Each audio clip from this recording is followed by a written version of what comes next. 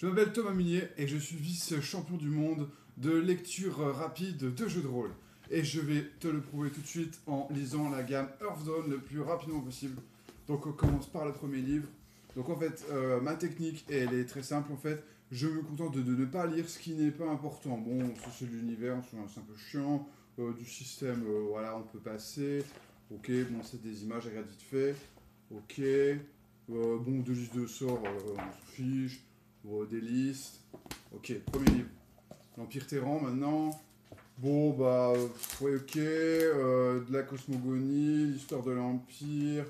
Euh, voilà, des images, des persos, des cartes, ok. Maintenant, on va dire celui-ci, Bar Save. Bon, euh, pas mal moins du fleuve, de l'historique. Ok, des images, euh, des règles, ok. Créature de Bar Save maintenant. Ok, bon, ça sert à rien. Ça aussi, ok. Ok. Ok, ok. Hop. Et on finit avec les horreurs. Bon, voilà, c'est horrible, donc euh, pour protéger notre sécurité émotionnelle, je lis pas trop le détail non plus. Et voilà, c'est fini en moins de 2 minutes, 1 minute 30 même. J'ai lu toute la gamme de Earthdawn. Donc si tu veux réussir le même exploit et lire euh, tes jeux de rôle euh, à la vitesse éclair, eh bien abonne-toi à ma formation. Voilà, le premier pack seulement euh, 999 euros euh, avec une petite réduction quand même de 30% avec le code Outsider 666. Dépêche-toi parce que d'ici une semaine, il y aura cette formation ne sera plus disponible.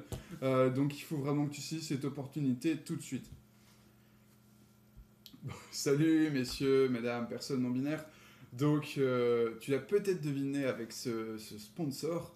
Euh, eh bien, euh, on va parler aujourd'hui de système d'osmateur, ou plutôt pourquoi système euh, d'osmateur tant que ça? Alors, système d'osmateur, c'est une phrase en anglais qui veut dire le système est important.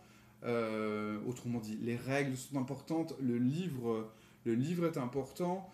À la base, donc, c'est un article d'un certain Rod, petit Rod Edwards, euh, voilà, qui expliquait, eh bien que euh, si tu veux, ok, tu peut-être un, super, un MJ, mais ce serait bien qu'on puisse reproduire l'expérience que tu as avec ce super MJ bah, grâce à un livre de jeu euh, voilà, qui explique bien comment maîtriser une super partie. Donc l'idée, en fait, c'est que ce qui est mis dans un livre de jeu de rôle, l'univers, les règles, c'est pas innocent, c'est important, c'est au service de l'expérience de jeu. Euh, ça veut dire deux choses, grosso modo.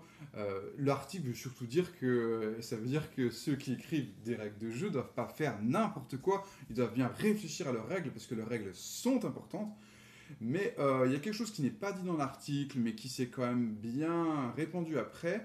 C'est la culture, du coup, que puisque ce qui est mis dans les règles sont importantes, si on a de bonnes raisons de penser que le livre n'a pas été écrit n'importe comment, il a été écrit avec une intention précise, eh bien, quand on euh, joue à ce jeu de rôle précis, on doit respecter les règles, on doit respecter l'univers euh, pour avoir accès à la meilleure expérience possible. Peut-être aussi, je pense qu'il y a aussi une notion de respect euh, de la, proposition ludique voire artistique de l'auteur de jeu de rôle. Ok, euh, je pense, si tu veux, que cette approche, elle a aussi suscité quelques dérives. Euh, je pense que du fait de cette approche, il s'est créé des jeux peut-être un peu trop rigides ou euh, un peu trop spécialisés.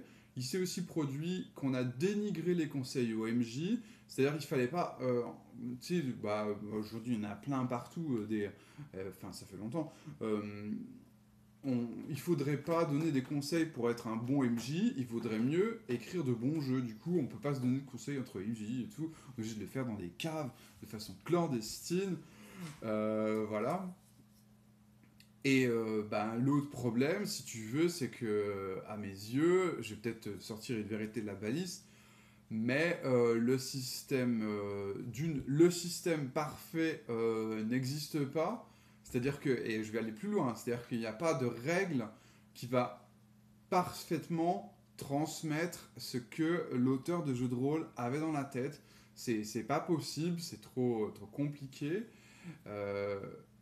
et également, je pense que toute partie de jeu de rôle est une trahison. C'est-à-dire que, de toute façon, il n'est pas possible, je pense, même avec la meilleure bonne volonté du monde, n'est pas possible quand tu joues une partie de jeu de rôle de respecter à la lettre ce qu'il y a mis dans le bouquin. Euh, parce que, pareil, c'est trop compliqué d'avoir euh, ce respect-là. Donc, bon, c'est pas une vidéo pour jeter le bébé avec l'eau du bain. Je nie pas, bien sûr, euh, le, message premier qui est juste, bah, il faudrait que les, que les auteurs écrivent leur jeu correctement et réfléchissent à ce qu'ils font. Bien sûr, c'est un conseil à la fois évident et précieux. Mais je vais essayer de te défendre aussi les approches, les avantages de l'approche système de spamateur. Alors, qu'est-ce que, j'appelle système de spamateur?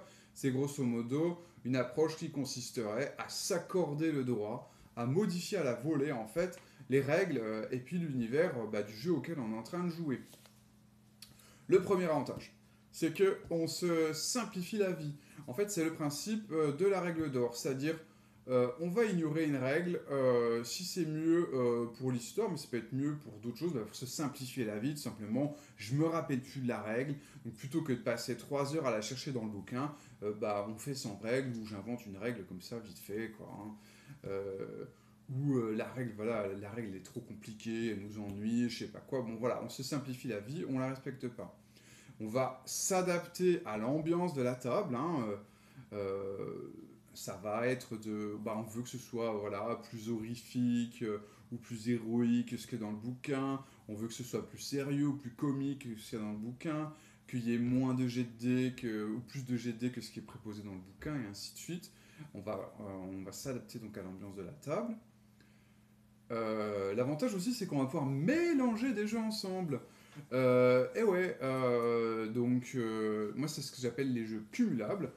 donc tu peux mélanger des jeux complets ensemble. Bah, typiquement, tu vas faire une partie de Donjons et Dragons, puis tu vas utiliser Musée Oracle bah, pour, comme, comme aide de jeu, mais tu peux aussi prendre des bouts en fait. Tu vas prendre euh, l'univers d'un jeu et les règles de l'autre. Généralement, c'est ce qu'on va faire. Par exemple, quand euh, soit parce que tu as un jeu, il n'y a qu'une partie, il a qu'une partie du jeu qui est bien, genre l'univers est super, mais les règles sont nulles. tu vas prendre des autres règles. Ou soit parce que euh, tu aimes bien l'univers, mais voilà, c'est un peu, t'as pas le time d'apprendre de nouvelles règles. Pof, tu vas apprendre les règles de ton jeu favori, puis tu vas les mixer avec l'univers.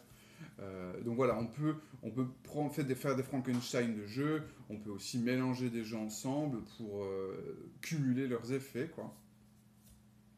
Cette approche en fait de système de spamateur, elle fait aussi qu'en tant que joueuse, on devient co vraiment euh, co-créatrice de l'expérience. Ça, c'est le principe notamment d'une pratique qui s'appelle le jeu en performance. Euh, tu, auras tous les détails dans la description, parce que euh, te parler du jeu en performance, ça, irait très loin, mais notamment cette idée de ah bah on va on va prendre un jeu OSR, mais on veut on va créer une ambiance onirique, par exemple, en mélangeant avec un jeu qui est onirique.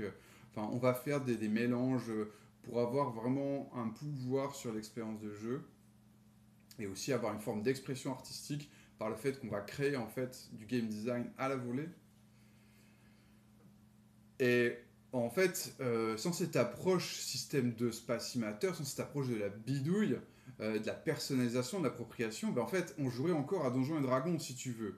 Et puis peut-être même Donjons et Dragons n'existerait pas. Mais si tu veux tuner les Trolls, le deuxième euh, jeu de rôle qui a été qui est apparu, ça vient au départ d'une table où ils jouaient à Donjons et Dragons, mais pas du tout. Euh, enfin, ils avaient, ils avaient, ils avaient euh, foutu en l'air euh, toutes les règles, ils jouaient de façon très très différente et tout. Et, voilà, c'est comme ça que le deuxième jeu de rôle est apparu, puis sans doute le troisième et le quatrième sont tous apparus comme ça au final. on peut, on peut aussi bonifier en fait nos expériences de jeu, en fait, en, jouant à un jeu tout en l'adaptant à nos besoins. J'ai le cas précis d'une partie de, de Tombe et Oubli qu'on a fait avec, euh, avec des amis. Et si tu veux, j'avais pas eu le temps de lire attentivement. C'est un, un, jeu en deux pages, Tombe et Oubli, un jeu de Benjamin Putois, qu'on salue si jamais un, jour il, voit cette vidéo. Et grosso modo, c'est un jeu en deux pages, mais j'ai quand même pas eu le temps de le lire, mais j'ai quand même très envie d'y jouer. Et puis, euh, donc, je dis aux autres, bon, allez, on va le lire en même temps, on commence à le lire. Et bon, il y avait la moitié de la table, c'était des game designers, hein, c'était un peu précis, mais bon. Euh, ils disent, ouais, bon, bah, cette règle-là, euh, on n'a pas le temps de. Enfin, ça va rallonger la partie, on pense que cette mécanique-là, ça va rallonger. Donc, tu vois, on avait coupé dans les mécaniques du jeu, essentiellement pour, pour comprendre le jeu plus vite et pour le jouer plus vite. Et aussi, on avait rajouté l'univers de Milvaux. Enfin voilà, on avait totalement adapté à nos besoins. C'est pas du tout pour te dire que Tomber Oubli est un mauvais jeu en soi. C'est un, très bon jeu en réalité.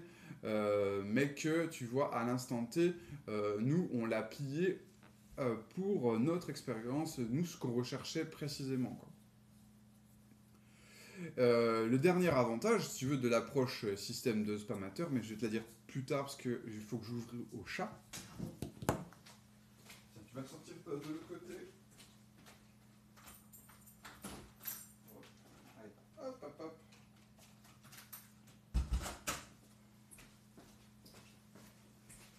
Ouais, je, suis désolé, mais il avait vraiment l'air malheureux. Euh, eh ben, c'est que on va appliquer la sécurité émotionnelle. Parce que figure-toi, il y a pas mal de très très bons jeux qui n'ont aucun dispositif de sécurité émotionnelle. Euh, y compris donc des jeux euh, issus de la mouvance du système Matter.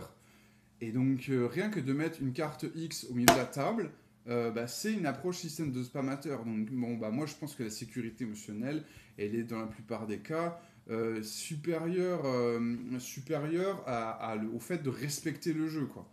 Donc, donc voilà. Par contre, comme tu sais que je suis une personne de nuance, je vais quand même te présenter euh, des situations où cette approche système de spamateur, euh, l'expression, bon bref, euh, eh ben, elle, peut aussi présenter des abus, comme ça tu auras vu toutes les nuances. Eh bien, si on joue trop en système de spamateur, déjà le premier problème c'est qu'il va y avoir une absence de contrat clair entre nous. puisque en fait, si le jeu il évolue au bon gré du MJ et des joueuses, on est dans le flou total sur, euh, sur quoi on joue, euh, sur quels sont... On n'a aucune garantie en fait euh, sur l'expérience, on n'a rien sur quoi se reposer, et donc ça, ça peut créer beaucoup de, confusion. Il y a aussi, si on est vraiment dans cette optique de on bidouille tout le temps l'expérience, il y a vraiment un risque accru tout simplement de parties pourries en fait. Parce que ouais, si tu es tout le temps en train de game designer à la volée, tu testes jamais un jeu fini en partie du principe que les jeux, les jeux sont finis et fonctionnels au moment où tu les achètes, tu les lis. Euh, mais sauf que si toi tu ignores et que tu fais tout à ta sauce, bah, tu es tout le temps dans l'expérimentation. Donc il y a des fois, en fait, euh, ça va être pourri, quoi, euh, la partie. Donc voilà.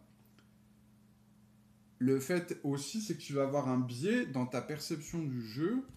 Et donc, je vais prendre un exemple. Euh, je, les aime beaucoup, mais euh, des fois, euh, là, bon, tant pis, c'est quand même sur eux que je vais tirer.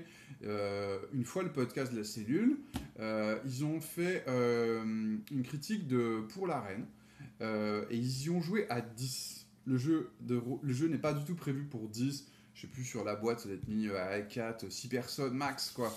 Donc ils y ont joué bah, à leur sauce, quoi. Et après, ils ont fait une critique, je précise négative du jeu, mais en fait, ils n'y ont pas du tout joué comme tu es censé y jouer, quoi. Donc en fait, leur critique, quelle valeur est là? Moi, je te pose la question. Euh, ça, voilà, ça, ça, crée quand même un biais énorme. Donc si tu veux critiquer un jeu, euh, ça va donner une fausse image du jeu, en fait. Hein. Euh, pareil, si tu es en convention et que tu animes un jeu, tu fais découvrir un jeu, mais que tu joues pas du tout comme c'est prévu, ben, les gens ils vont avoir une, fausse image du jeu. Quoi. Euh, ils vont pas se faire une véritable idée de, ce que le jeu promet. Ça peut être dans, un sens positif comme dans un sens négatif, quoi, mais ils seront trompés sur la marchandise. Et, par ailleurs, euh, ben, tu risques de décevoir les personnes qui sont venues à ta table pour une promesse précise. Euh, voilà, si. Euh, je sais pas, je, dis n'importe quoi. tu tu, tu, toi, tu veux, tu veux découvrir Marvel Super Heroes, tu vas en convention, tu veux jouer à Marvel Super Heroes, et donc euh, t'arrives et tout, et en fait le MJ te dit oui, mais en fait, moi je fais jouer les méchants. Bah tu dis attends, moi je suis inscrit, j'ai j'ai bloqué 4 heures de mon temps parce que je, voulais jouer Spider-Man ou je voulais jouer la, la chose et tout, je voulais jouer un héros, et toi tu me dis qu'en fait je vais jouer Doctor Doom, euh, je vais jouer le bouffon vert et tout, bah non, non, je n'ai pas signé pour ça quoi. Donc voilà, euh, bah, c'est à toi de te faire ton idée entre système euh, de smatter, système de spamateur tant que ça, et bah voilà, ça c'est un bon vieux marronnier sur lequel je te propose de t'exprimer dans les commentaires. Là-dessus, je te fais d'énormes bisous et je te dis à la prochaine.